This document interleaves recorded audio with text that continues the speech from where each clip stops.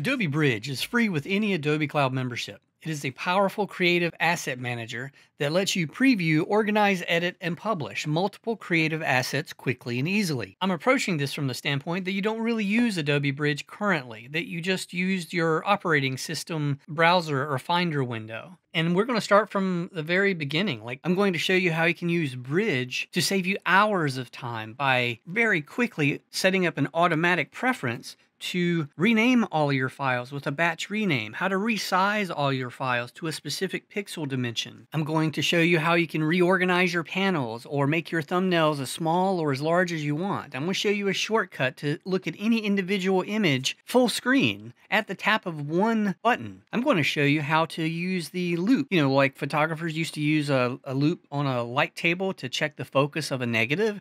They actually have a loupe embedded in Bridge that you can activate to check the focus focus of a specific area of a specific image. There are so many powerful features in Adobe Bridge, and I'm just covering some of them in this video. This is built for beginners, kind of demonstrating why you should be using Adobe Bridge if you're a working or even an enthusiast photographer, graphic designer, any kind of an image maker. And the most important part is you can do all this visually, the way artists and photographers think. So when you first open Adobe Bridge, you probably see something like this. If you don't, go over to the very top bar, hit the disclosure triangle, and choose Reset Workspace. And if it hasn't already done this, which it probably has if this is the first time you've opened Adobe Bridge, just choose Essentials. That way we're all starting on the same page. This is the very basic Adobe Bridge interface. Now, what I'd like to say is I can't actually remember if these desktop documents and pictures folders are automatically loaded here in the favorites column. If they're not, just go to your computer, go to whatever your hard drive drive is named. I have a lot of external drives plugged in plus a camera card. But here is my particular hard drive. And basically you would just click this open, find your user, and then if you don't already have your desktop documents, pictures, movies, folders, whatever it is you go to often, over here in this favorites tab, well then just drag them over by clicking and dragging. I'm going to show you how to do that with my externals because I go to those all the time. So I'm just going to click and drag it down. I'm going to click and do you see how it's giving me that blue line is saying it's going to be underneath and I actually want all of these. Actually, I'm going to go ahead and select these two at once show you can do that. And this way, you basically put all your favorite folders or hard drives here under the favorites column so that we can very quickly get to them. And let me go to a folder with pictures. So I'll click on pictures and navigate to a folder. Okay, so I've navigated to this particular folder of images. Now, here's what I want to show you. I'm going to go back to my operating systems navigation system, which I'm on a Mac, so I would go to my Finder. Okay, so here is the same folder in my Mac Finder. So what are the immediate limitations? Well, look how small these icons are. Can I make those any bigger? If I come up to the top menu bar, I go to Show View Options. Look at this. I do have the ability to make them one size bigger. So I'll click that. That makes them one size bigger. That's still not quite big enough, especially if I'm trying to judge facial expressions, trying to decide is something focused or not, whether I should bother even opening it up, especially if it's an Adobe RAW file. And then, well, let me go to a column view which will give me an extra preview panel over here with some metadata. But watch what happens when I click on any of my raw files. One 1000, two 1000, okay, almost two seconds every time I want to look at an image. And this is what I'm having to do, click on every single image. And you know how it is if you're out shooting a portrait session and you've shot 500 images, or you just got back from a travel shot and you have literally thousands of images that you're trying to go through. This is just too time intensive. And again, this is all you can do with your Finder. I'm going to close that. So this is the exact same folder, but notice how it's very visual. Like right away, the the default size of the thumbnails are bigger, but you can adjust the size whenever you like. Just come down to the very bottom and just drag the slider up.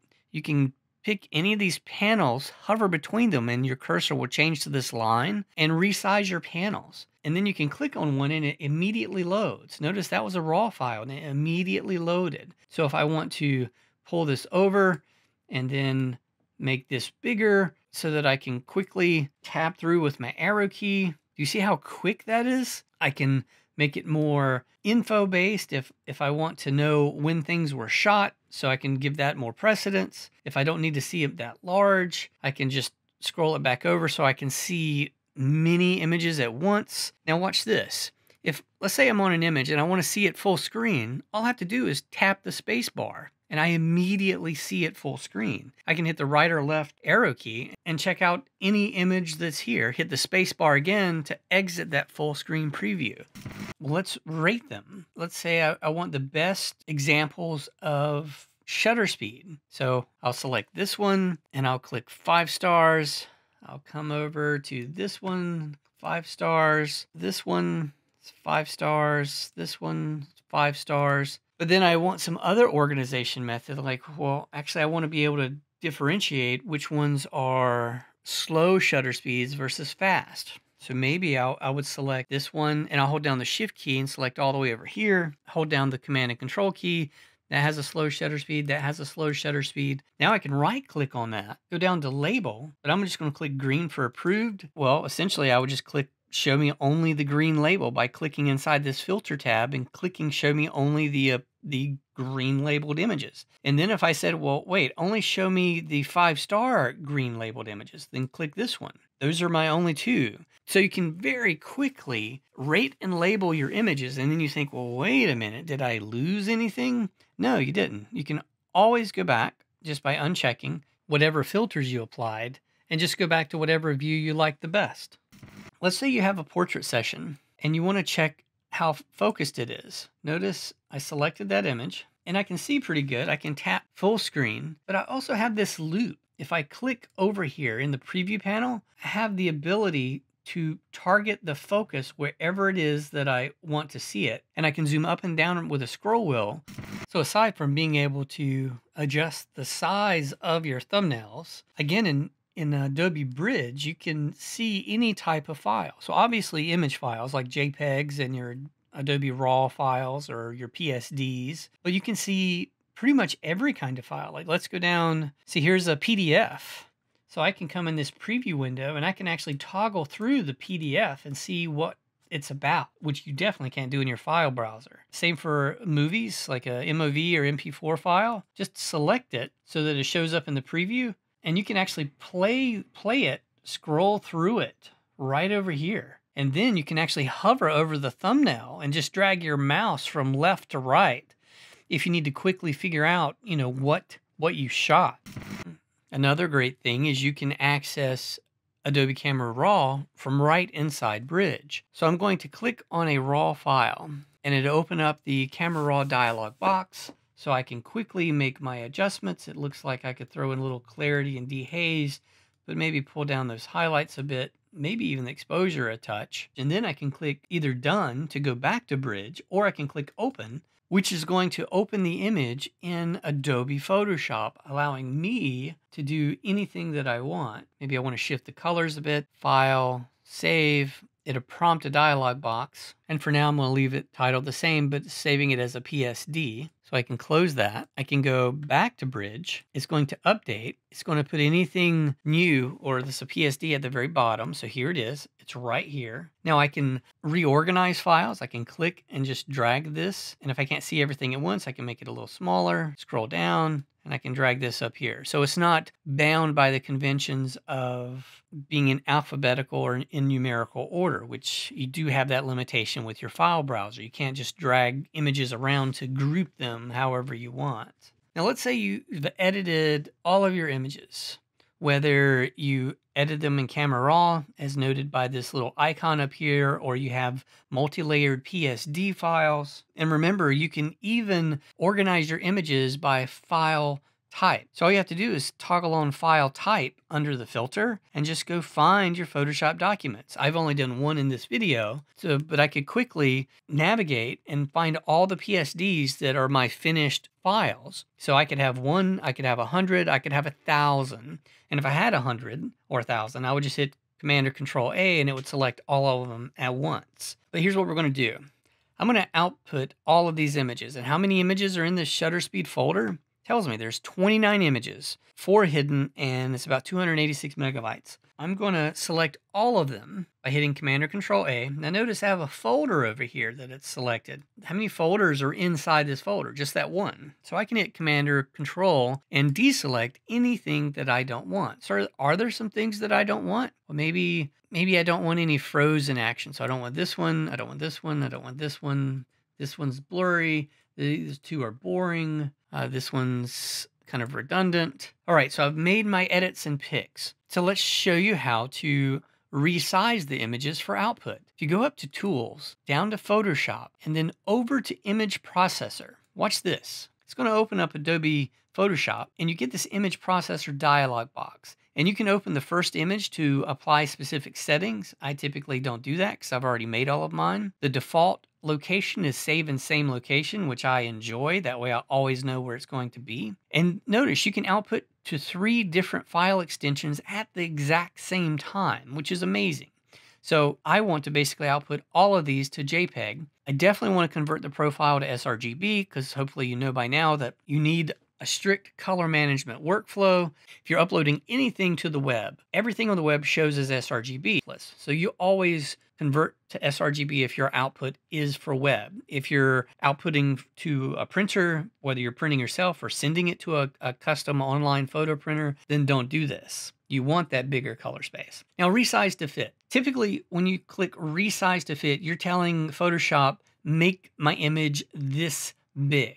I'm resizing this for web, so I want full HD. So that would be 1920 by 1080. But do I key in 1920 by 1080? No, I don't, because it's going to resize to fit. And I didn't choose only horizontal images. If I did, this would work, but I didn't. So I have vertical images and horizontal images. So essentially, I need to put the same dimension in both. So whether it's a tall image or a wide image, it will automatically find the longest pixel dimension and make it 1920, which is exactly what I need. I'm going to leave these two unchecked and here's a great time to add your copyright info. Type all rights reserved. If you're on a Mac, hit Alt G or Option G. You can kind of Google what it is for Windows. They have a, a longer number code you've got to type in to get the copyright symbol. Type the year, type your name. What that's going to do is it's going to embed the copyright info in every single image that you're outputting for the web. You can actually do this upon in, ingest or when you're downloading your images through Bridge and just click run and walk away.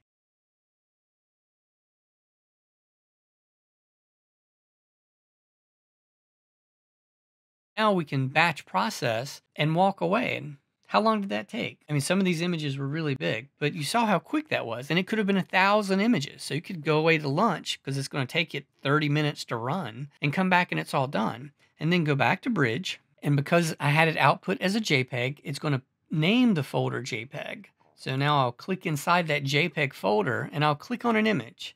And notice my pixel dimensions, 1920 by 1280. How do you rename your files? So now that you have your images ready to go, whether it's for a school project or uploading to a Flickr album or SmugMug account, you can't upload images with these dash G6A3062 dash 1 file names. You need to rename them. So I'm to hit Command A, we'll go up to Tools, I'm just going to choose Batch Rename. You're going to get a batch rename dialog box. I'm going to rename them in the same folder, which is default, and I get to choose how I want to rename them. So I'm going to call mine shutter speed underscore sequence number, start with one, give two digits. Now I can preserve the current file name in the XMP metadata, which I'm not going to do. And I'm only working with myself, so I'm not going to bother with any of this. Here it gives me my current file name and it shows me what my new file name is, so I can quickly read it. Shutter speed 001 looked fine to me. So I'll just click rename. So I'm in that JPEG folder, right? Look at this pipeline. It shows me where I am in each of my folders. Now I have full HD images ready to upload that have been resized and renamed super quickly.